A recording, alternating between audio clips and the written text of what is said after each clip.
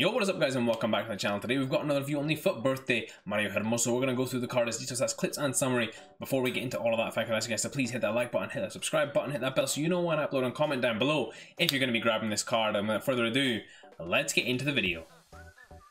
So guys, getting this Mario Hermoso review, I first played him in that centre back slot next to Sergio Ramos uh, in that 4-2-3-1. I just tried him there, of course. Uh, and overall, guys, my first impression of card, he played pretty decent for me. He's a very good, serviceable centre back option, especially if you're going to lock him off with, say, Yuri Berchiche or Sergio Busquets, something like that, which will allow you to section off that part of your team. Getting, let's get into the review though. Mario Hermoso, 6 foot tall, high medium work rate, left footed, 5 star moves and 3 star weak foot, 6 games played, no goals scored, and no assists. So guys, immediately off the bat, 5 star skill moves doesn't really do much for me. Um, for you skillers out there, of course, though, this will be a bit of a dream. High medium, that's a bit of an issue as well, especially next to Sergio Ramos. You have to have the right instructions on this card to make sure he stays back and defends appropriately. But left footed for a left sided centre back as well, which I do like. Um, you're able to then defend on his strong foot when people are coming down the wing in that regard too. His height, he's a little bit lower than I would like, especially given that his physicality isn't the highest. However, guys, I would say that it's not overall an issue. Um, he did defend very well. In terms of the chemistry style, I tried a shadow and an engine on him. I do think the shadow fit better on this card. The engine does do a certain amount for him in terms of his capability, but I think the shadow just fit much better on this card.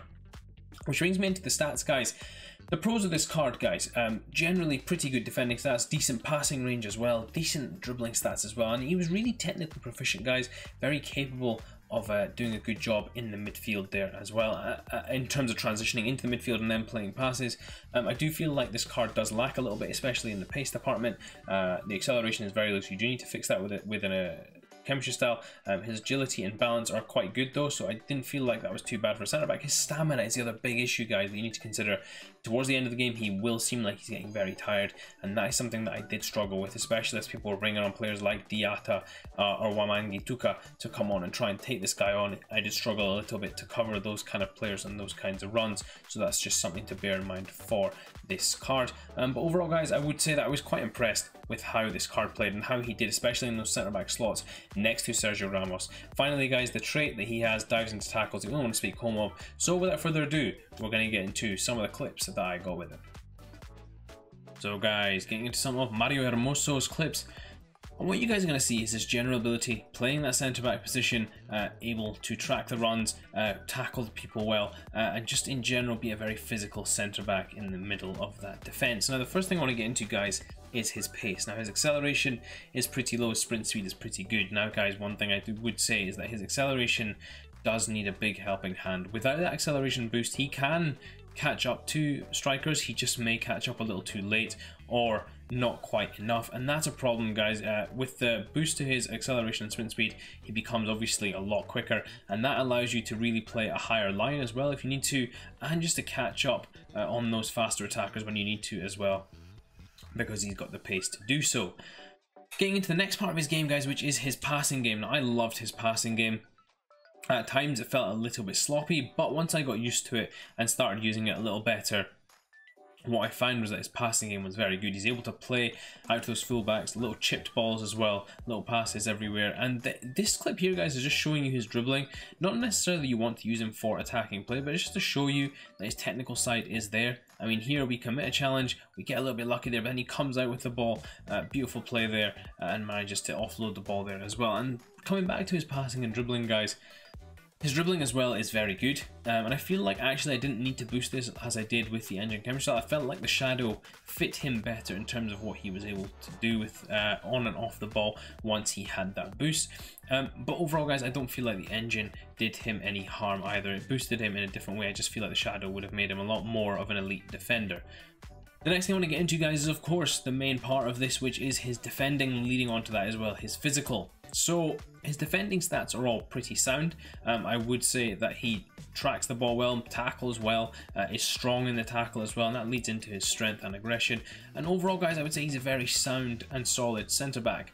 What I would say is that if you want him to be a really good centre back, you do need to boost his defending stats. He is a little bit lacking in those stats, especially if you choose to go another way with your defensive chemistry style. Uh, he will need a little bit of a helping hand on, in his centre back partner. I had him with Ramos as well, which didn't really help in terms of work rates because he has a high attacking work rate, but with the right instructions and just some cautious play, uh, I was able to defend fairly well with him. Now his physicality, guys, just coming onto that again, is very good, but his stamina is a little low, so that's something to be aware of, um, is that he does have a lower stamina than you would be expecting for a centre-back, and that may lead to him getting tired late game when you're playing against some of these cards, of course, like the Diattas coming on late on in the game like I do, uh, or some other fast cards that other people are bringing on, you may struggle a little bit with this card. Last few clips, guys, and we're just going to see more of the same, more defending, more transitioning into the attack, and passing the ball through, uh, or just winning the ball back cleanly, like this one here, tracking the run, again, lovely win there, getting the pass off, and in this final one here, another lovely win, and getting the ball away. So guys, getting into this Mario Hermoso review, we won't be going through the prices comparison, but uh, we'll look at the prices, we won't be going through the comparison just because the prices are too volatile right now. We'll do that towards Sunday or Monday time. 259 on the PlayStation, 203 on the Xbox, and 265 on the PC. Now the key stats for this card, the defending stats are pretty okay. The reactions, ball control, the general dribbling stats are good. The passing range is pretty decent, and the physicality stats are pretty decent. Now, overall, guys, that really sums up what my thoughts are about this card. Is decent. Um, I think this card is just a decent card. I don't think he's a standout card, but what it does give you is an option to have a very good centre back next to another very good centre back or left back in Yuri Berchiche um, that you can link in and create sort of a Spanish section to your team. Uh, I did try the engine on him, guys. That's what it does to his stats. It makes him very well rounded in terms of what he's able to do. However, I would recommend that you stick the Shadow on this card just because he needs that pace upgrade. He needs that defending boost as well just to be able to compete at the at the top level to be able to hold his own against other strikers who are really going to be getting better and better as the year goes on and better strikers are released. In terms of similar players, guys, uh, I, this Todibo is a good card. I think it's, it's, quite similar in some ways. I think Todibo's obviously got a massive size advantage and strength advantage, whereas Hermoso is more of a smaller defender, more akin to the to the normal Sergio Ramos card. This Wan-Bissaka again is a good comparison to this card, maybe slightly better than that Wan-Bissaka overall. In terms of linkability, guys, you've of course got a bunch of perfect links to uh, Llorente, Saul, uh, of course Koke in there, Morata's in there, Diego Costa in there, of course, as well. Strong links to all the Spanish players across La Liga, Spanish icons, and Atletico Madrid players that are in there too. Um, so lots of linkability options, guys, with this card. And that's what makes this card really nice as well, is you can kind of section it off, especially with this Yuri Berchiche here at left back. You can kind of section that part off in your team and tie it together with a CDM, a Llorente, and that will allow you to section off that part of your team to enable you to uh, create nice hybrids or to build something just completely different as well. Uh, really nice option there, which leads me on to my final summary about this card. Now, guys, initially when I was using this card, I thought this is 100% not worth it. This card is quite poor. But actually, guys, what what I'm judging here is, is this a decent centre-back? And for me, yes, this is. This is a very decent centre-back, and it's a good centre-back, and it will be a serviceable centre-back until the point where Team of the Season comes out. Um, I wouldn't say that this is a jewel that you build your team around, but if you've got a strong centre back, like I do, like a team of the year Ramos, and you need someone who complements him well or is able to play with him, then this Hermoso will do a job for you.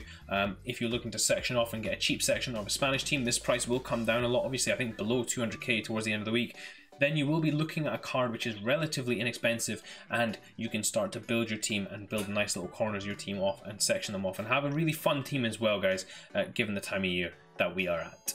Hope you guys did enjoy this video. If you did, please do smash that like button. Until next time, I will see you all in a bit.